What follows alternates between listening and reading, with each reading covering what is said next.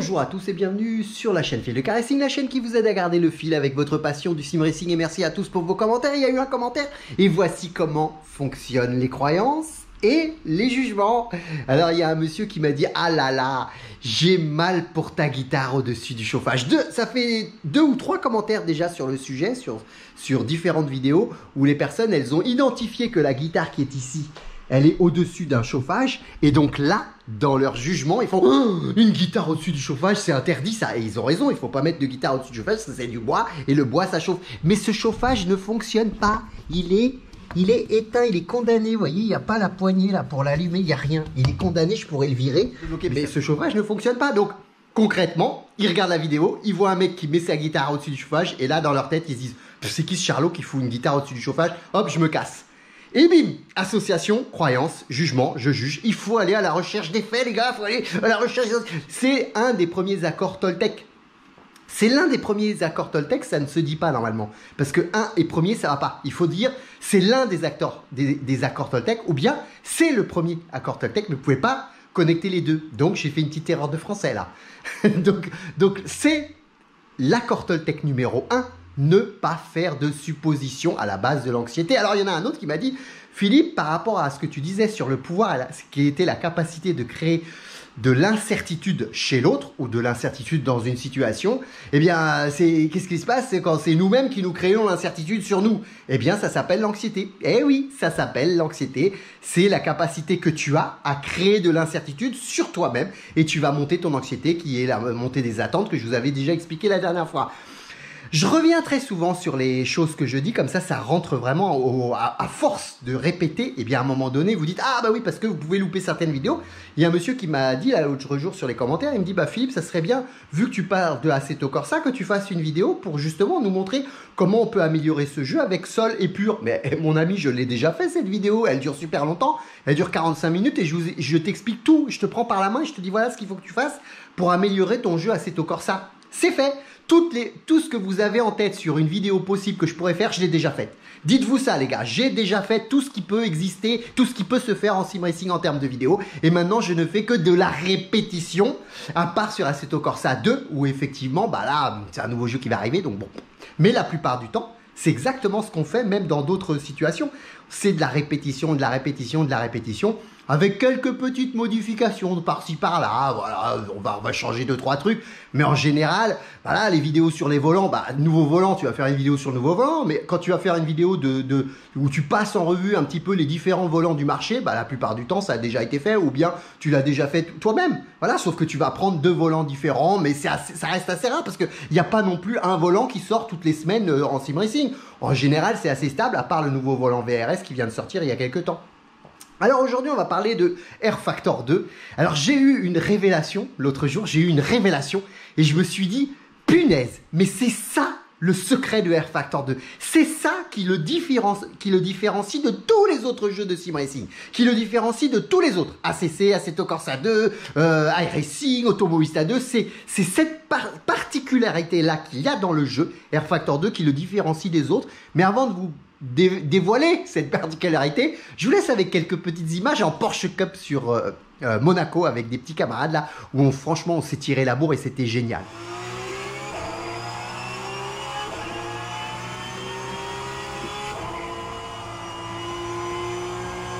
Eh oui. Il dégrade vite quand même, hein Drive trop, drive trop, monsieur. ah bah ouais. Ouais, c'est con. C'est dommage que, ouais, là, c'est sévère parce que, en fait. Euh,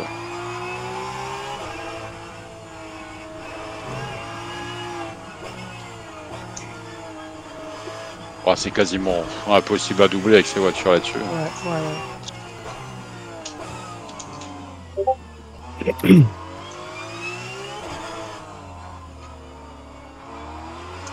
Oui.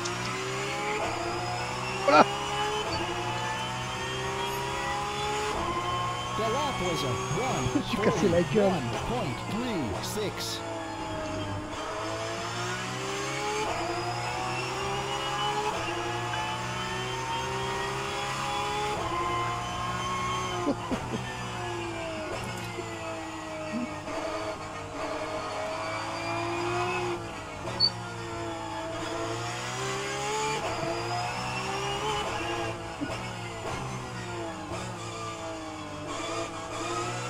Bah oui, t'entends le, t'entends le régime euh, moteur qui change, c'est marrant. Aïe oh, oh. Ah là là là là. C'est pas la Porsche Cup, c'est la Clio Cup là.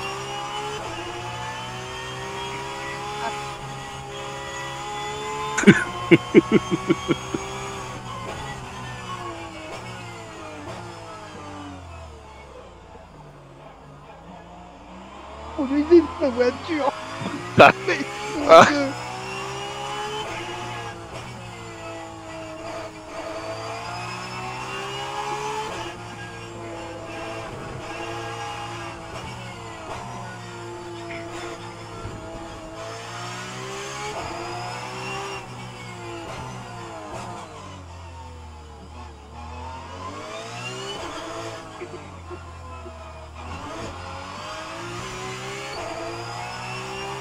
That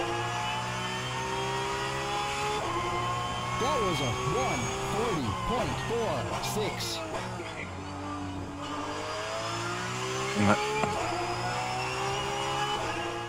Et non, ce n'est pas la qualité graphique. Non, ce n'est pas la qualité de la physique de la voiture du retour de force. Non, non, non. Ce n'est pas euh, le côté où il y a pas mal de modes quand même sympas qui vous permettent de jouer sur des circuits qui sont pas forcément officiels du studio, mais qui vous permettent quand même d'avoir une variété de circuits qui est beaucoup plus large que ce que vous que ce que que ce que peut vous proposer le Studio 397, même si la, la qualité de ce qui est fait par le studio est quand même un niveau au-dessus. Et quand vous voulez jouer à R Factor 2 sérieusement, honnêtement, il faut avoir le contenu payant. C'est pas tout ça. En fait, c'est pas tout ça. Le vrai secret, je vais vous le, je vais vous le dévoiler maintenant. Roulement de tambour. Le vrai secret, les amis de R Factor 2, c'est la transpiration. C'est la transpiration. J'ai eu une révélation en direct live l'autre jour sur le Discord avec mes camarades quand on était en train de jouer à R Factor 2. J'ai- Je leur ai dit en direct, j'ai dit putain les gars, ça y est, je sais, je sais ce qui différencie R Factor 2 de tous les autres jeux, c'est la transpiration. Ce jeu, en fait, il vous fait transpirer. C'est le seul jeu qui me fait transpirer comme ça. Alors encore plus quand il commence à faire chaud. hein. Là, là, ça commence à, là, il va commencer à faire beau. Euh, voilà, là, là, faut pas jouer à Factor 2, les gars. Faut pas jouer à Factor 2 parce que vous allez transpirer, voilà. Et donc, c'est le jeu vraiment qui te fait, t'es- parce que je sais pas pourquoi. je sais pas pourquoi celui-là, il me fait transpirer. Il me fait plus transpirer que Dirt Rally. Alors que Dirt Rally, il faut y aller quand même. Non, il me fait plus transpirer parce que la voiture, elle est plus lourde de retour de force, il est plus violent. C'est de la physique, c'est un problème de physique, évidemment. De physique. Le physique de la bagnole va influencer ton physique. Et donc, il va te faire transpirer parce qu'il va falloir que tu corriges, que tu tournes, que tu, euh, que tu, que tu te battes avec la voiture. Et ça, ça va faire du mouvement, beaucoup plus de mouvement que sur un autre jeu. Et donc, à partir de là, bah, tu vas transpirer. Et puis, ça te fait aussi transpirer quand le jeu, il fonctionne pas. Puisqu'au bout d'un moment, ça commence à t'énerver, puis tu vas avoir une goutte qui va couler, tu vas faire putain, ce jeu, il commence à me faire chier, et donc techniquement, il te fait aussi transpirer, parce qu'il y a plein de choses des fois où tu comprends pas pourquoi ça marche pas. Moi, comme je l'ai déjà dit plusieurs fois, honnêtement, je peux pas me plaindre. Ça se passe plutôt bien avec moi, j'ai rarement des bugs, mais je sais qu'il y a des personnes qui galèrent vraiment avec ce jeu. Donc oui, ça fait transpirer ces gens-là. Alors, ils arrivent pas à l'étape de la transpiration sur la piste, puisqu'ils s'arrêtent, ils s'arrêtent à l'étape de la transpiration sur le PC euh, en, en, en réglages euh, divers et variés, en configuration. Ils vont, rester bloqués là. Même si moi, j'essaye de faire des vidéos qui vous, voilà, qui vous indiquent un peu comment est-ce que vous pouvez améliorer les choses.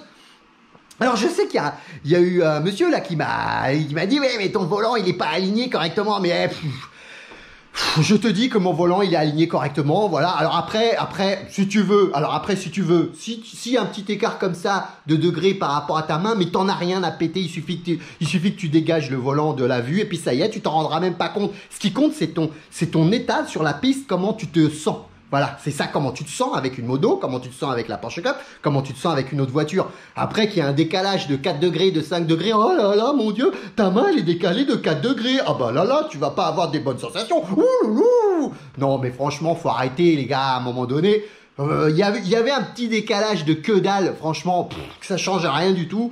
Tu fais effacer le volant, paf, terminé, tu vois plus le décalage et tu t'en rendras même pas compte. Voilà, en tout cas, moi ça, ça m'impacte pas plus que ça, et il est parfaitement réglé. Euh, Air Factor 2, le jeu qui fait transpirer. Autant que les commentaires désagréables qui racontent n'importe quoi. Et ça aussi, ça fait transpirer, évidemment. Bon ben voilà les gars, voilà pour le secret de Air Factor 2. J'espère que... Dites-moi si vous, il vous fait transpirer aussi. Ou bien, si, ou bien vous allez me dire, bah non mais pas du tout. Hein. Moi, il me fait pas du tout transpirer. hein. Moi, le jeu qui me fait transpirer, c'est Aceto, Aceto Corsa Competizione. Oui, celui-là aussi, il fait transpirer. Mais, celui-là, il fait transpirer, mais parce que t'arrives pas à avoir les graphismes que tu veux, et du coup, tu, tu transpires et après, tu le dégages. Du coup, tu joues plus, du coup, tu transpires plus. Alors que Air Factor 2, tu transpires, mais tu y retournes. Parce que t'adores ça. Tu dis, ouais, mais j'y retourne, je vais retranspirer. J'adore transpirer dans Air Factor 2. Alors que tu n'adores pas transpirer sur Aceto Corsa Competizione. Quand tu n'arrives pas à régler les réglages, non, t'as pas envie de transpirer sur ce jeu. T'as pas du tout envie, même. Voilà, petite vidéo rapide comme ça pour un petit secret. Et puis, mais franchement, ça a été une vraie révélation. Je me suis dit, mais c'est ça en fait.